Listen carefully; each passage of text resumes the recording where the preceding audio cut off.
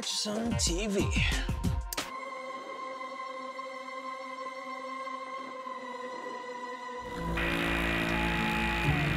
Oh! Binge watching TV again, Jack? I'll be sure to tell the advertisers. Good thing your TV provider doesn't charge by the hour. Wait, is my smart TV watching me?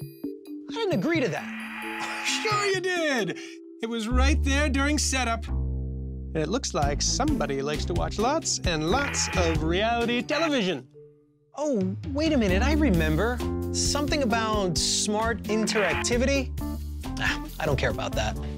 You don't care that I just told advertisers that you watch 10 hours of TV on a Tuesday? Looks like somebody needs to get a real job. Hey, get your hand off of my popcorn. Ow! Hey, Bobby. Hey, Jack. Luckily, I had invited Bobby Richter over to hang out with me. He's part of the Consumer Reports team that tests products for data security and privacy to let consumers know which ones best protect their data. Is my smart TV really watching me? No, I don't see any cameras or anything, but it is collecting data about you. Hold on a second. What kind of data is it collecting? Data about what you watch, your network provider, what kinds of things you search for, what kind of advertisements show up on the screen, all sorts of things. Why do TV makers want to collect my data, and what are they doing with it? They collect all of this data so they can advertise to you. Um, they can know who their customers are, and they can uh, provide them with better, better services.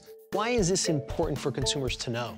Well, if you want to keep control of your data, maintain your privacy, turn off some of the features on the TV, and take back that control. It's what some manufacturers call ACR, or Automatic Content Recognition.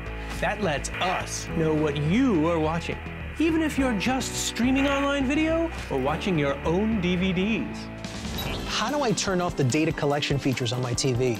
Well, it depends on the TV, but it's pretty simple to find. While all TVs are different, here's a basic guide. Have to go to menu. Some TVs give ACR its own proprietary name, so you'll need to look for that and toggle this feature off. Ah! No, wait, not that one. On other TVs, you'll need to go to Settings, then Terms and Policies, then Disable Viewing Information Services. Wait, don't do that. We need that setting. When you buy a new smart TV during setup, read the agreements carefully.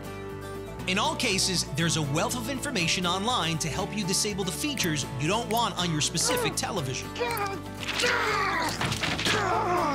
All right, let's grab some popcorn and watch this. Here you go.